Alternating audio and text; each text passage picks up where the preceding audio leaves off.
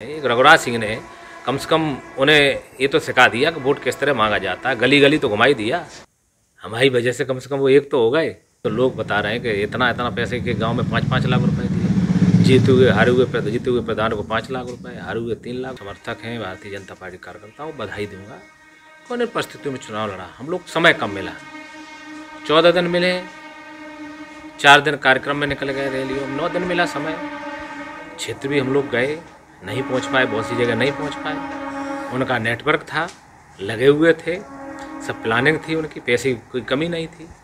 हम लोगों को सब व्यवस्था करनी थी, उसके लिए थी।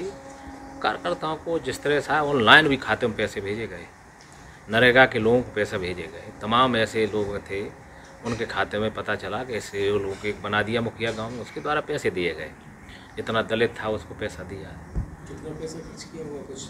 अब जो हाँ, समीक्षा में तो लोग बता रहे हैं कि इतना इतना पैसे के गाँव में पाँच पाँच लाख रुपए दिए। जीते हुए हारे हुए जीते हुए प्रधान को पाँच लाख रुपए हारे हुए तीन लाख ये जो लोग बता रहे हैं जो समीक्षा है वो चुनाव चुनाव जिस तरह परिस्थिति इस तरह चुनाव हो ही नहीं सकता था।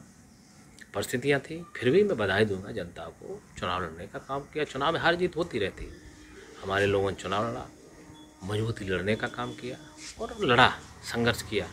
हम जनता के बीच के हैं हम लोग कोई ये तो चुनाव तो इंदिरा गांधी भी हारी थी डिम्पल भी चुनाव हारी थी हैं? डिम्पल भी चुनाव हारे हैं धर्मेंद्र भी चुनाव हारे हैं तमाम बड़े नेता चुनाव हारना जीतना तो अलग चीज़ हो गई। क्या चौबीस के लिए तैयारी करेंगे? पार्टी का जो आदेश होगा हम लोग तो पार्टी के सिपाही हैं पार्टी का जो निर्देश होगा हमने पहले भी कहा था मैंने पार्टी हमें लड़ाई तो हम लड़ेंगे जिसको लड़ाने का उसको लड़ाने का काम करेंगे। लेकिन जनता लड़ी हमारा कार्यकर्ता लड़ा उसको अफसोस भी है लेकिन जिस कार्यकर्ताओं लड़ने का काम किया। पैसे के आगे तो आजकल जो युग है, धनबल है, जब 200 करोड़ एक सुप्रीमो के सामने, एक रघुराज सिंह ने कम से कम उन्हें ये तो सिखा दिया कि वोट किस तरह मांगा जाता है गली गली तो घुमाई दिया।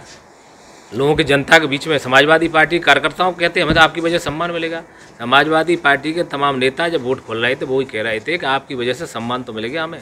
जो पूछते नहीं थे, हमारे घर गए आके पूछते थे बगल में खड़े होने का कोई दिक्कत नहीं है। गली गली गए गाँव गाँव गए ये भी तो कर दिया रघुराज सिंह ने।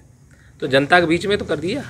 तो ये बताइए कि आप क्या इसकी शिकायत करेंगे पैसे को लेकर के? अपने उच्च नेताओं से शीर्ष नेताओं को भी बताएँगे ये सब चीज़ें गतिविधियाँ जो अगली बार ना हो। देखिए ऐसा है ये उपचुनाव था। ये हमेशा करते रहे। मैंने कहा कम से कम कई बूथ ऐसे थे कम से कम सौ से डेढ़ सौ, पूरी लोकसभा में तो कई बूथ थे। उनके बूथ से अस्सी परसेंट कर लिए, सत्तर परसेंट कर लिए। एक समाज के लोग थे, उन्होंने जितना हो सकता करने का काम किया। हम पे उल्टा आरोप लगा रहे थे। हम कैप्चरिंग कर रहे, पैसा बांट रहे। कह रहे कि नहीं कह रहे थे? शराब बांट रहे। जो उल्टा वो जो कह रहे थे, फिर कहाँ से वोट आ गया? ये कह रहे थे हम पे। आरोप सब सामने आ गया ना। वो जो करते वो उसका उल्टा कहते क्योंकि लोग इसमें रहे, वो सब सामने सिद्ध हो गया। हम तो फिर भी, मैनपुरी की लोकसभा की जनता को बधाई दूँगा। उन्होंने आशीर्वाद दिया।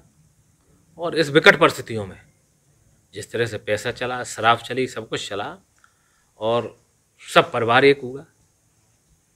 हमारी वजह से कम से कम वो एक तो हो गए। हैं? सम्मान तो मिला। ये भी देख लिए जिस तरीके से शिवपाल सिंह और अखिलेश यादव अब पूर्णतः एक हो गए एक झंडे के तले पर है। क्या कहना है मैंने तो किसी ने कहा नहीं था अलग हो भाई। जब अलग हुए तो किसी ने कहा था।